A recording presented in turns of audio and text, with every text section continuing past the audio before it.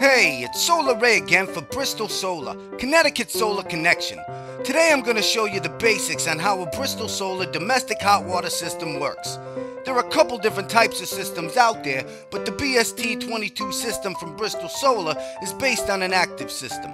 An active system is powered by a pump, whereas a passive system flows from the pressure of your city or well water. There are all types of hybrid systems out there, but that's another instructional video. Here, let me show you how it works. Let's start with your standard hot water tank that runs off electric or gas. This tank receives your incoming cold city or well water and heats the water so it can be used for things like washing your dishes, doing your laundry, or taking a hot bath or shower. Now let's add the components of the BST22 hot water system. First, we install 2 to 4 BST22 solar collectors on your roof or specified area. Second, we run the lines from your collector down to the area where your standard hot water tank is. Third, we install the heat exchange tank next to your standard tank and connect the two systems together. Next, we install a valve so you can shut off the solar equipment if needed. Finally, we install an active pump that circulates the water through your collector.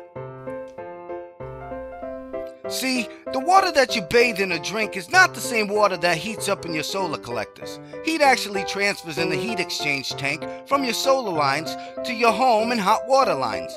Now you might say, what about the winter? Won't the water freeze? The answer to that question is no.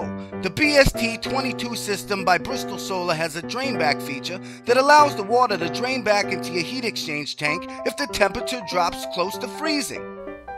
Well, that's it for now, but feel free to drop by our website for more information.